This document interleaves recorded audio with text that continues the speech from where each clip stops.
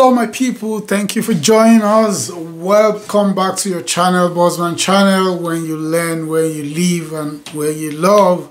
Um, it's great being with you.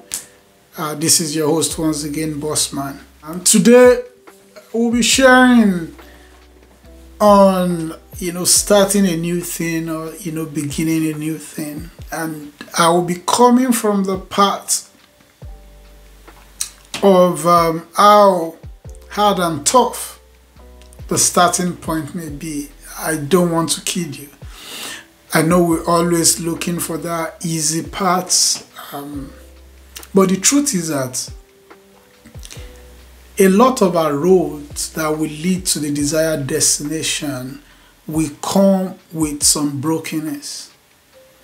We come with some rough patches.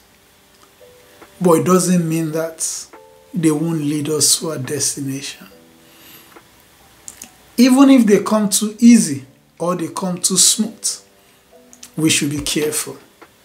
But I know a lot of people are always looking for that smooth or for that easy path. I always say something.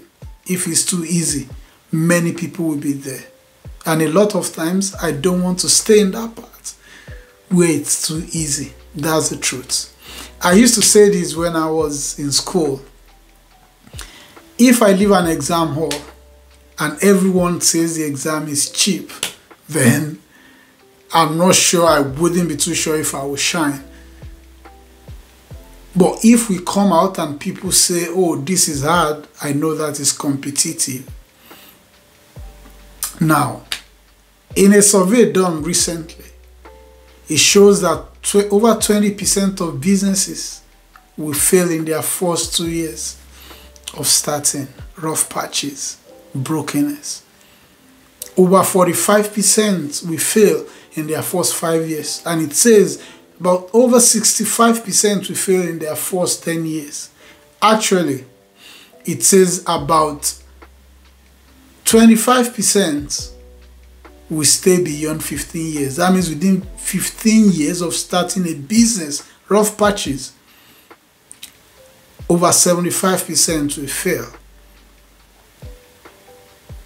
But how many we hold on beyond these 15 years? In fact, if you are watching this and you are over 15 years in age, you've lived more than over 75% of businesses. It's the same start with marriages. Stats shows that over 50% of marriages will fail within the first 10 years. Rough patches, brokenness. How many people are able to hold on? It's like building a house. Foundation will demand the most from you. But what you want to do is to ensure that you don't do it easily or you don't you don't just get it done fast. What you want to do is to build a solid foundation so that the house can sit well on it. You can even make any adjustments if you have a very strong foundation. You know, moving to a new country, I knew a lot of sacrifices I had to make at the beginning. It was rough, it was hard. You know, there was a time I was just building capacity, doing courses, doing certifications. And, and many people felt I was, I was, you know, wasting money. It was tough. But always share with people. The first year of getting a job, in my line, you know, almost, almost cover all the expenses, far more than what I had spent. And I know that the foundation was strong, but the beginning was rough. I've changed job quite a bit. I've changed career a bit.